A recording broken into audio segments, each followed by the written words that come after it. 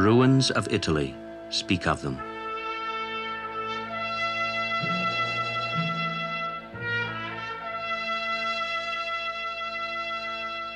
The poppies of Flanders stand for them.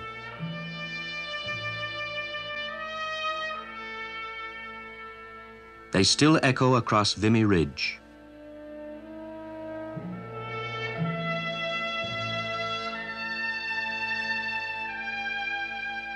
The flatlands of the Dutch can hear them.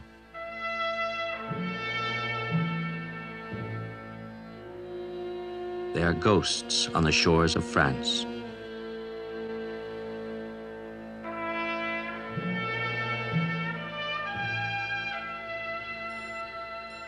They haunt the sea off Normandy.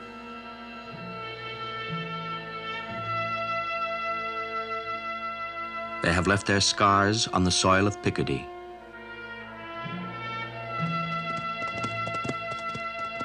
They are remembered by the sand. They live in the minds of old men who still travel the roads of the Somme.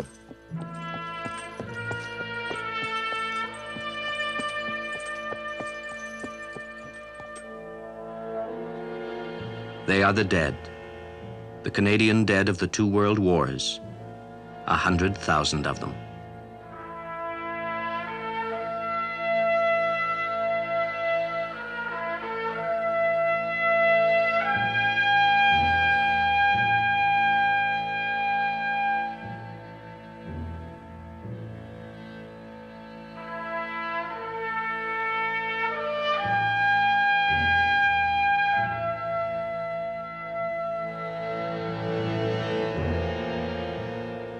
Died in far places, places which still live and remember.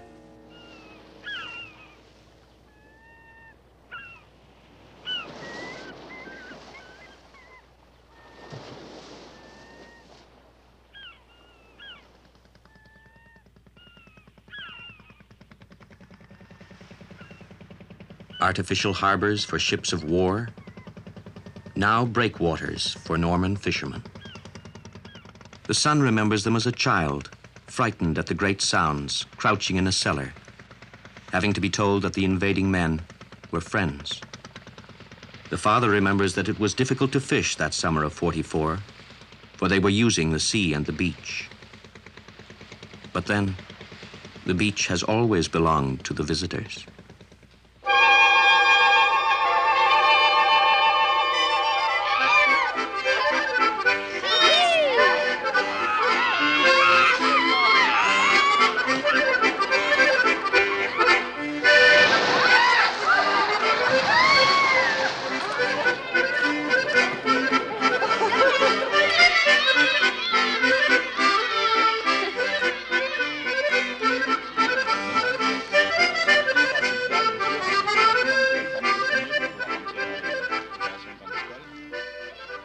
Long ago that June day when Canadians struck from the sea.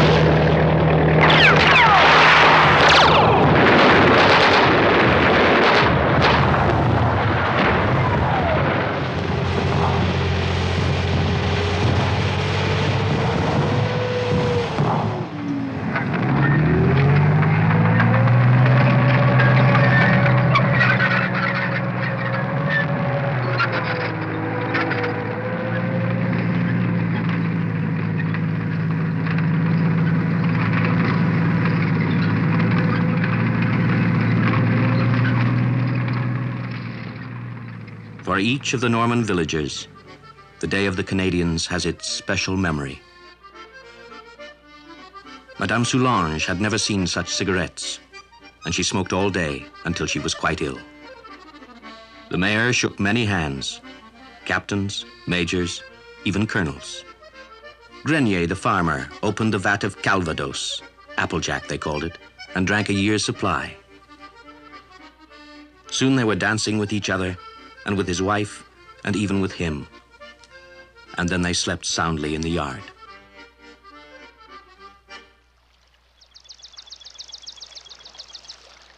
In the morning they moved on through the land of William the Conqueror. For this was not the ancient war of siege, but the modern war of movement.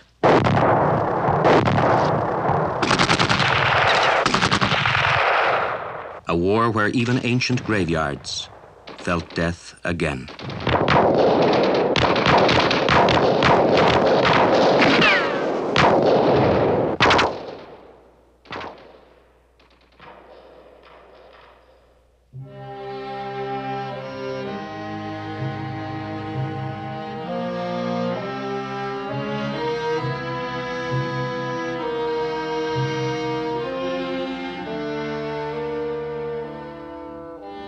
They left behind a liberated people and their dead in final dignity.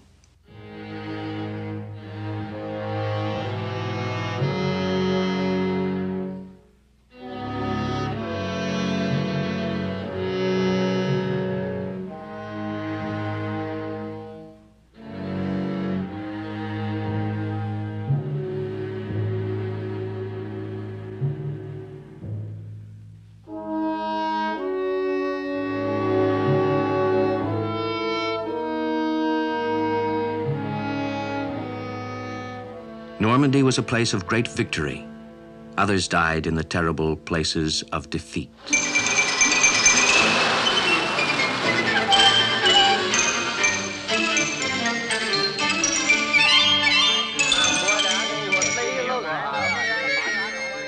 Hong Kong had seen them as fresh, unblooded troops. Then they heard the hills had got them.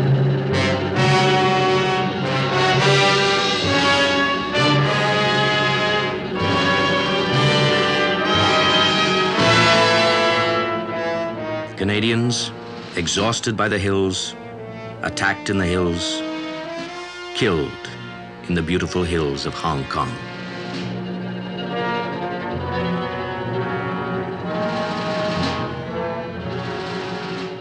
They fought for 18 days and ended on Saiwan Bay.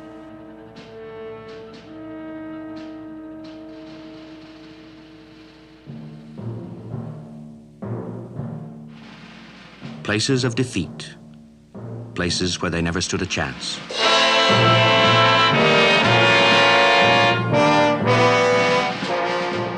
Buried with full honors, head to head, in the German style.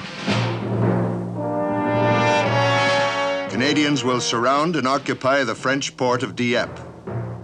They will attack from the sea at first light. They will withdraw the same day.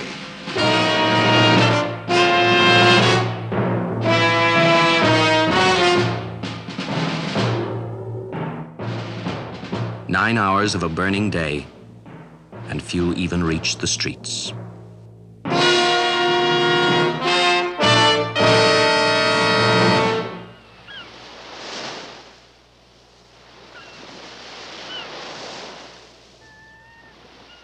They were killed by the cliffs and the enemy that looked down on them from the cliffs.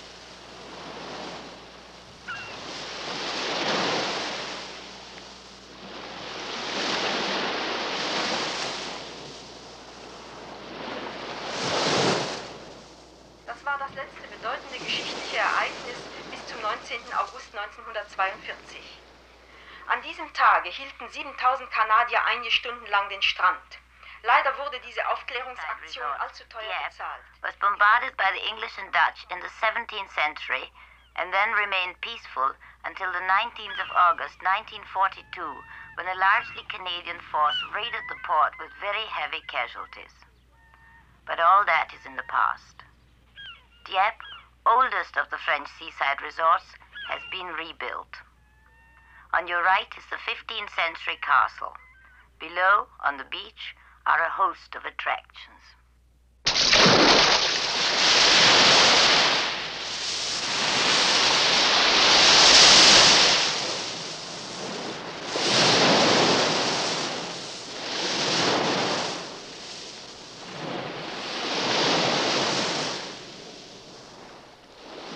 A French port of death for Canada. And an Irish port of life.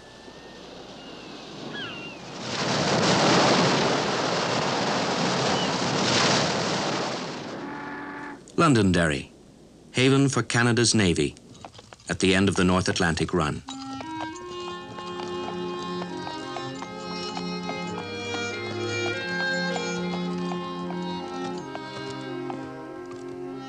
The memories of a harbor master.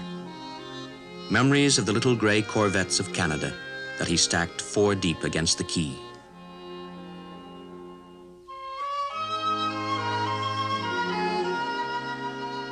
They came in then not from a sea they loved, but from a sea of fear. They were not the old salts. They were just boys, most of them, blustering and brave. They would go up from their ships, through the rain, up through the diamond, and onto the town.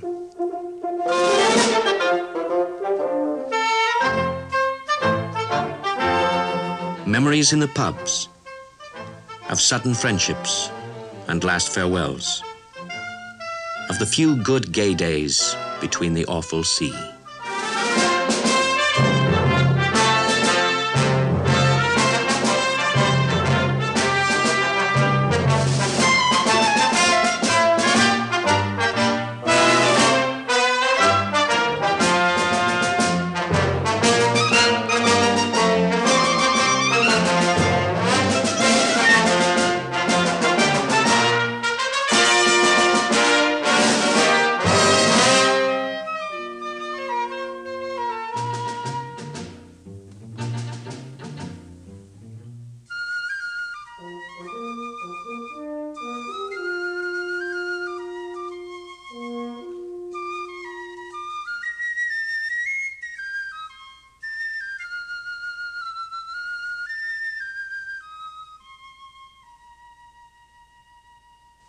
Some of the haunts are dead now, and some of the men.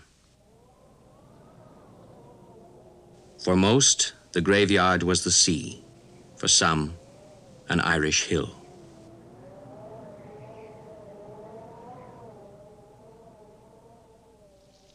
Other memorials decaying on an English field.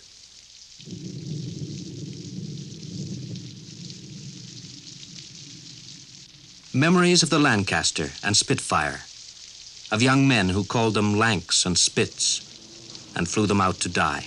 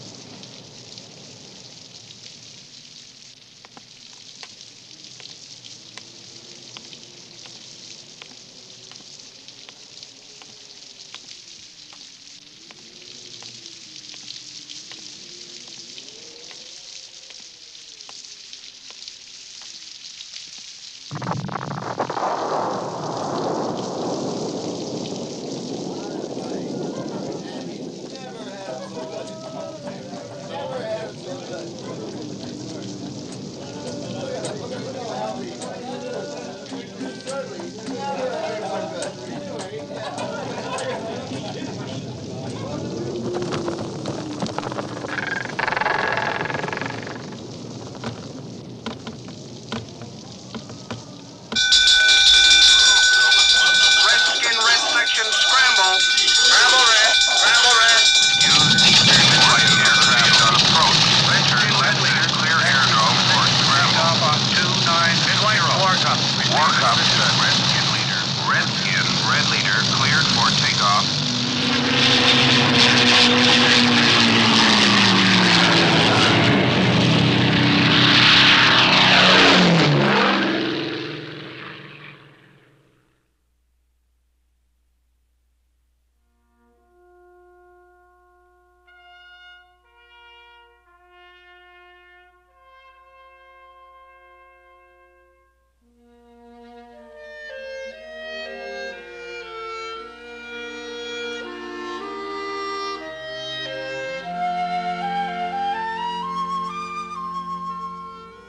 Commonwealth Memorial at Runnymede. On it, with the others, the names of the 3,000 Canadian airmen who disappeared forever in the sky.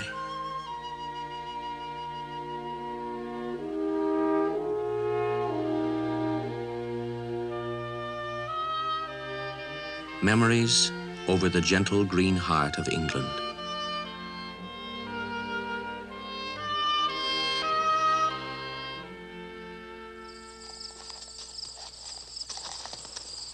Memories in the searing brown heart of Sicily.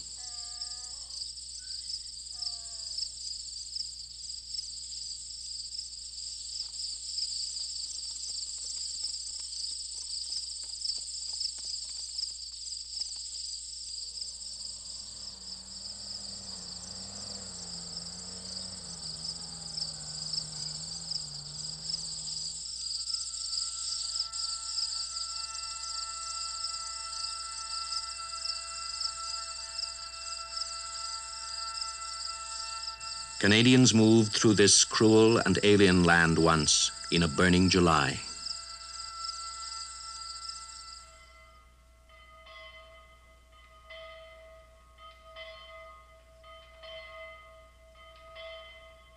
The old people remember, for they had been starving and they were fed. And they heard stirring sounds of strange music, and they will tell the children.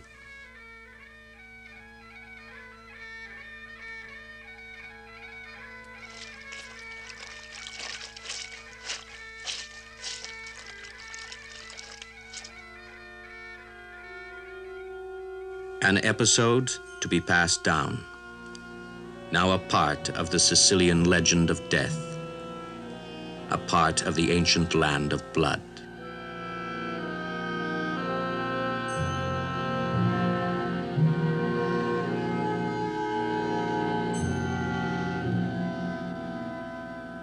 For many of their companions, death waited further north in Italy.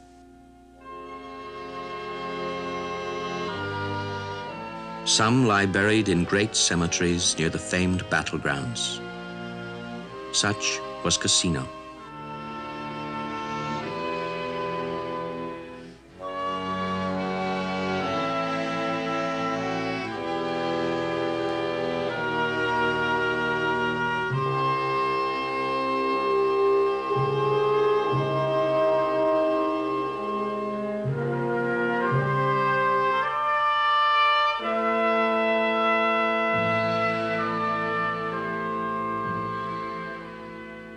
Others are buried in the smaller plots of land, like Ortona.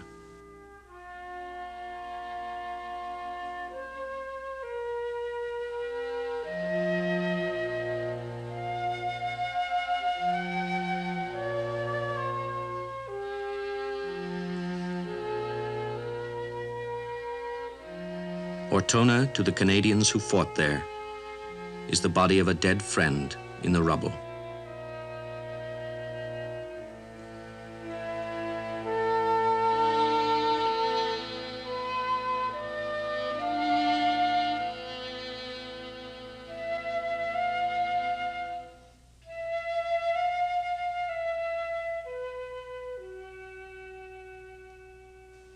Remembers it was cold then, and the sound in the city was more than he would ever hear again.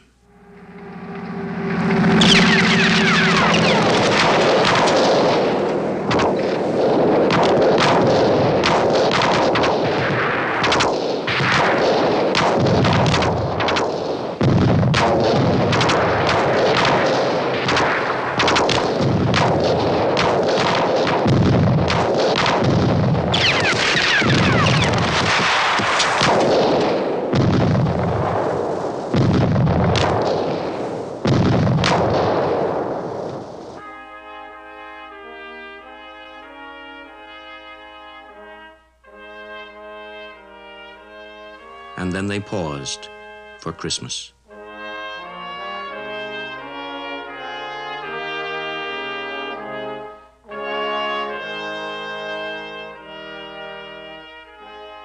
A matter of hours, then back to the street fight.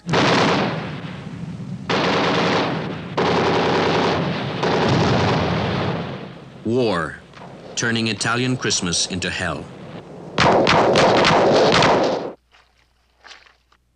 War turning the Dutch canals from lifelines into ditches of death.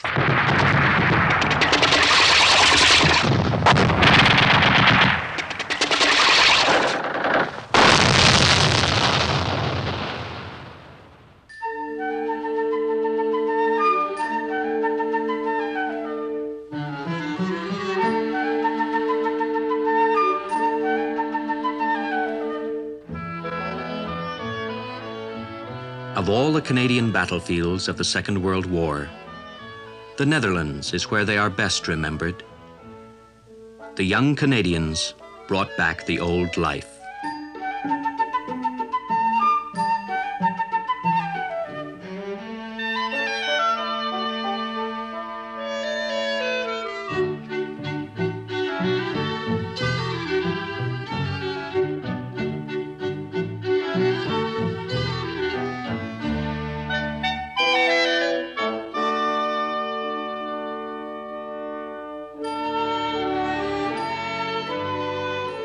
The dikes had been blown, and the sea had come, and they wondered if the crops would ever grow again.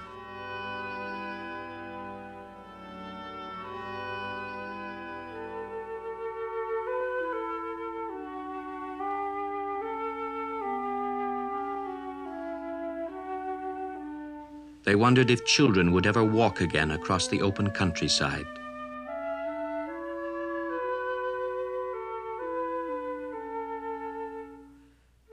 These children have no memories of that war, but each year they are taken to the Canadian cemetery at Groesbeek, as other Dutch children are taken to all the other war cemeteries in the land.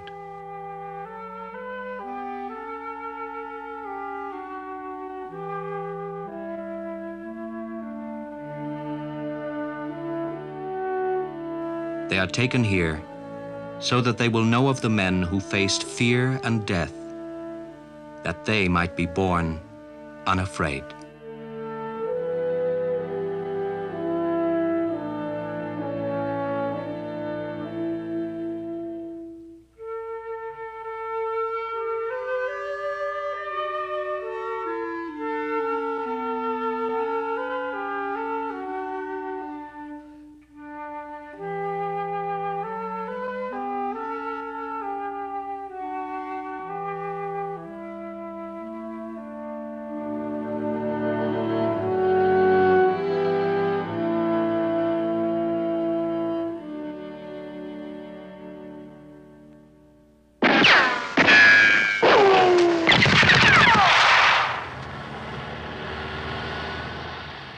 Other markers of the Second War stitched across a monument to the dead of the First World War.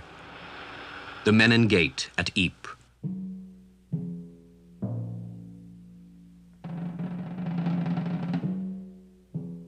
Nineteen seventeen, when it led to Flanders Fields, when Canadians moved through it, when Ypres was wipers to the world and a city of death.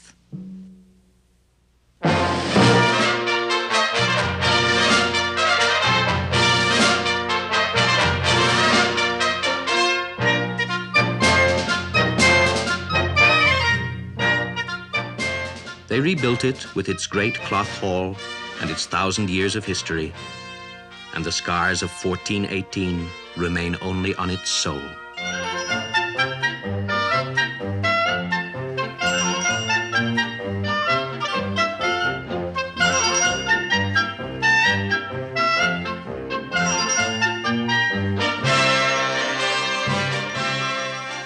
Ypres knew Canadians as marching feet.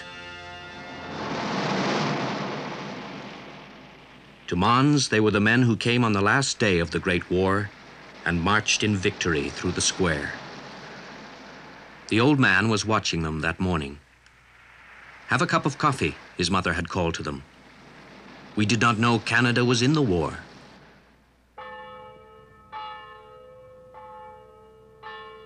Arras had known Canada was in the war.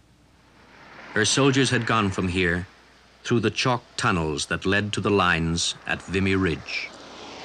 They would never know such days again, these towns of Picardy.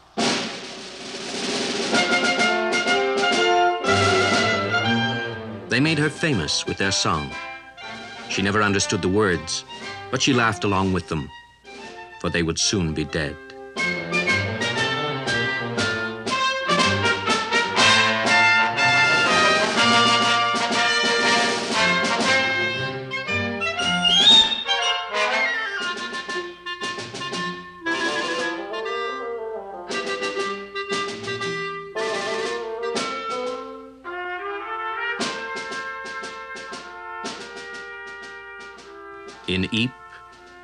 The day is ending.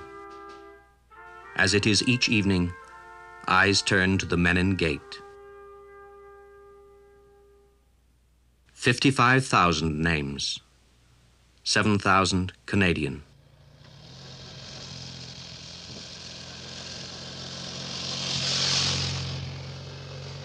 It is time in the old Flemish city to pause for the dead.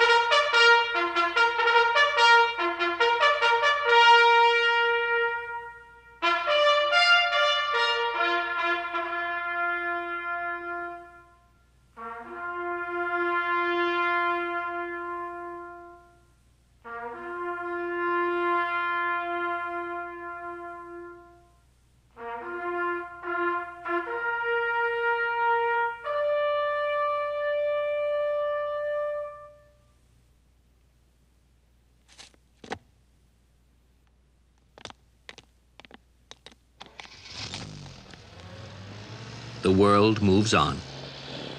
Through Amiens, Albert, Plug Street, and Poperinghe.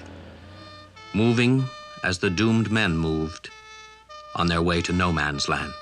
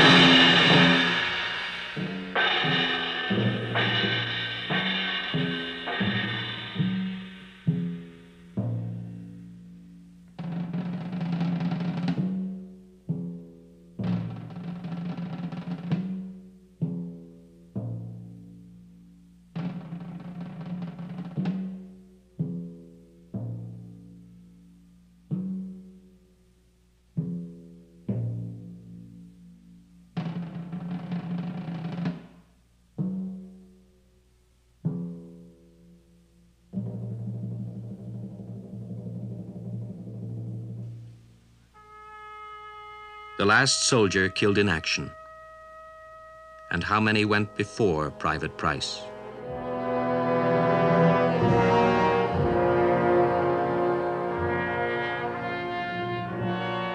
Ten million, but they can only guess. 60,000 Canadians, all within a hundred miles of each other. The Western Front of 1914-18. The greatest concentration of death the world has ever seen.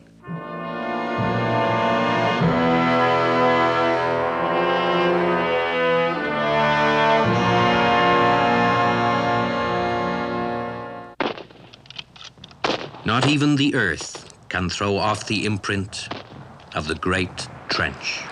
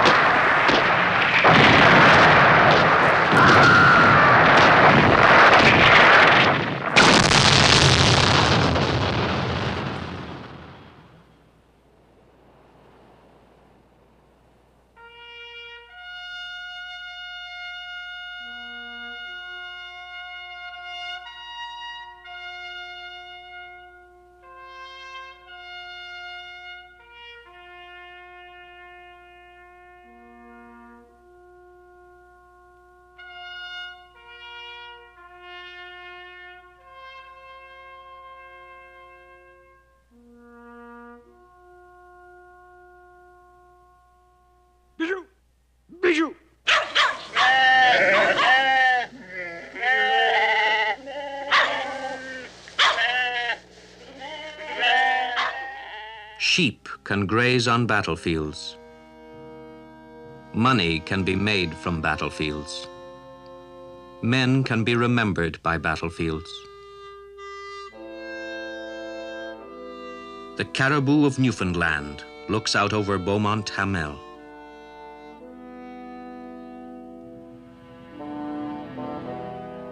Men can stand in 1916 with the 800 impatient Newfoundlanders and watch them go over the top, and watch 700 of them fall in the gaps of their own barbed wire and in no man's land beyond.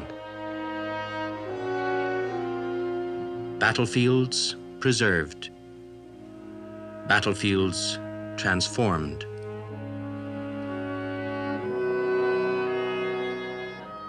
The Canadian memorials at Le Quesnel and Bourlon Wood.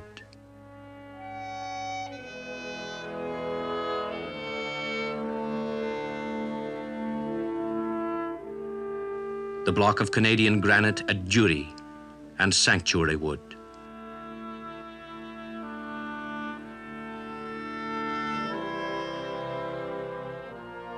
Passchendaele, where men choked to death on mud.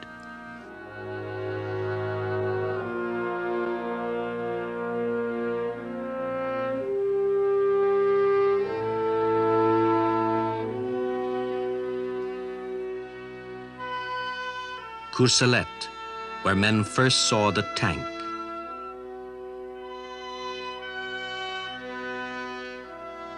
St. Julien, where men first felt poison gas.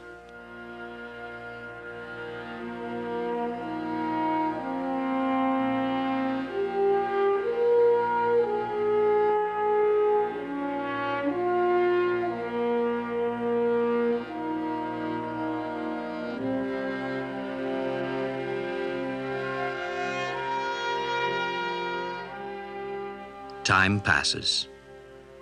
Monuments and men grow mellow, and there are no longer friends and enemies, but only victims.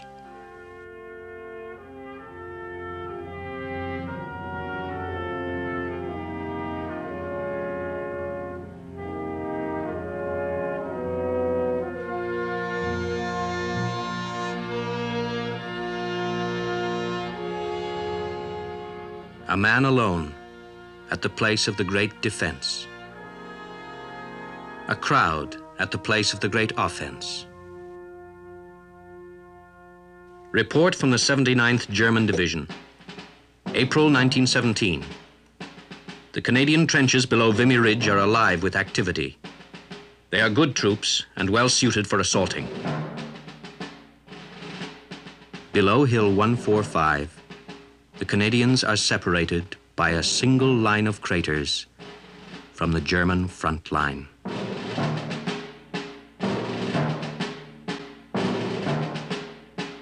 Easter Monday, 1917. The Canadians throw themselves at Vimy Ridge.